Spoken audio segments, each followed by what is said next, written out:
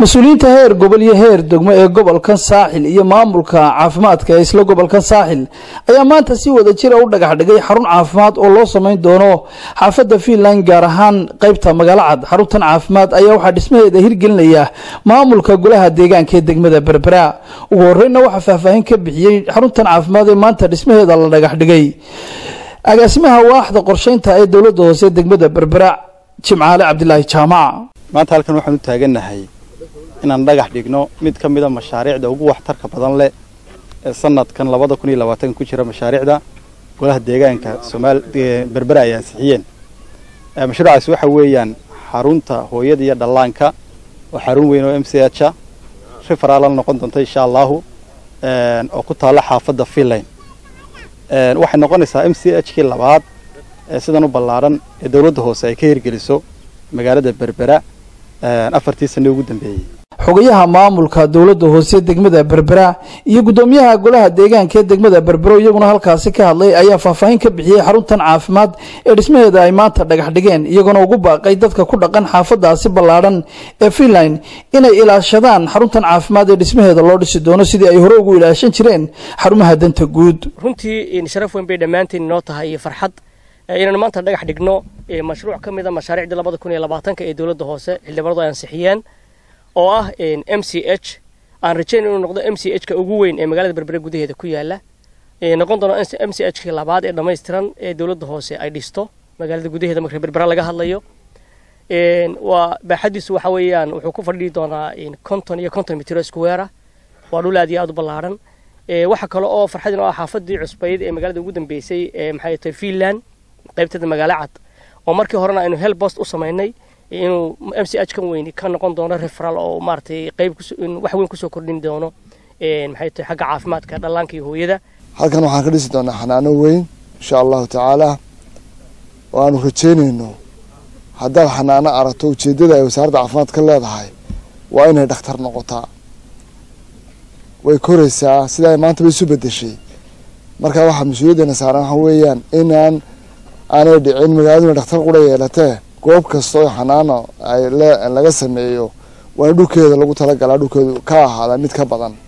Ima konton mitir waa dhulkeedu laakiin maaha baahideedu konton mitir waa inay laba boqoloo mitir ugu yaraan ahataa si mustaqbalka tobanka sano ama shan iyo tobanka sano soo socda ay u noqoto dhakhtar ay degmadu leedahay oo xaafadan iyo eriyadanba ku filan. Marka waxaan ku soo urinaya waxaan leeyahay dadkan xaafadda reer finland si aad horeba u ilaashateen danta guud oo dhammaystirkii danta guud ee keligeed ka maqan tahay saribadii si ugu fara adeegteen ugu fara adeego ilaashada waxaan idinkaa leh waa hantidiinii waa cashuurtii inta lagaa qaaday ee gurigan lagaa qaaday adiga dib lagugu qabanayo. Marka hore waxaan u mahadnaqayaa dowladda hoose oo si feera oo cadaalad ah mashruucan u soo baahisay. Annaguna aan u ablay garaynay mashruucanna aan ku guulaysanay shirkaddan dahaba construction runtii gobollada somalilan badankooga waxbay ka soo qabatay oo dhismayaal baanu ka soo fulinay. Maanta saaxil waa dhismihii ugu horreeyey ee aan ka fulinayno. Waxaan ku dadaalaynaa in si qiimo leh aan dhismahan u fulin doono. Shirkad ahaan halkan m c h baa laga dhisayaa. Waa xarun bulsho. Waxaan doonaynaa inaan annagu yacnihii in aan wax ka faa'idno inaanu isku dayno inaan annagu wixii lagu talagalay aan sideeda u gelino. Isuduwaha wasaaradda caafimaadka ee gobolka saaxil doctor bashiir diirye jaamac iyo guddoomiyaha guddida caafimaadka ee gobolka sheekh mustafe cali cumar oo iyaguna halkaasi ka hadlay ayaa uga mahad celiyey maamulka dowladda hoosiya ka golaha deegaanka xaruntan caafimaad ee ay ka hirgeli doonaan xaafadaasi finland iyagoona sheegay inay keeni doonaan shaqaalihii ku habboonaa marka waxaan aad iyo aad ugu faraxsannahay adeega caafimaadka ee lagu faafiyey gebi ahaanba gobolka saaxil ee dowladda hoose naga taageertay hay'adaha naga taageeri jiray ama dowladda wasaaradda ka taageeri jiray meelaha laga duulo waxaa ka mid ah inay dowladaha hoose la wareegaan adeegyada caafimaadka. Adduunkana way ka jirtaa dowladda hoose waxay ka dhabaysay in adeegyada ay la wareegto faan ma aha laakiin waa xaqiiqo jirta weeyaan. Cid kastaaba way soo taabatay. Aad iyo aad baan ugu mahad celinayna arrintaas.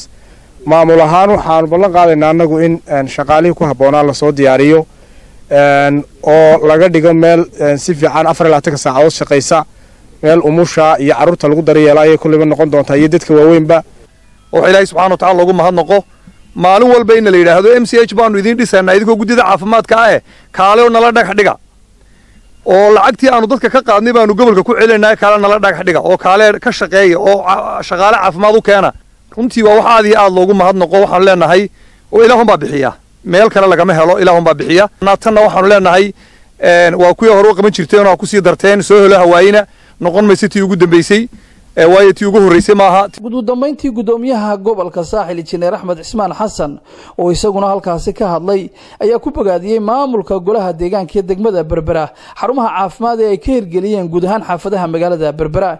Waxaynu dhagax dhigaynaa sidaa laga soo wada dhawaajiyad arkaysaan waa m c h xaruntii caafimaad ee ugu weynayd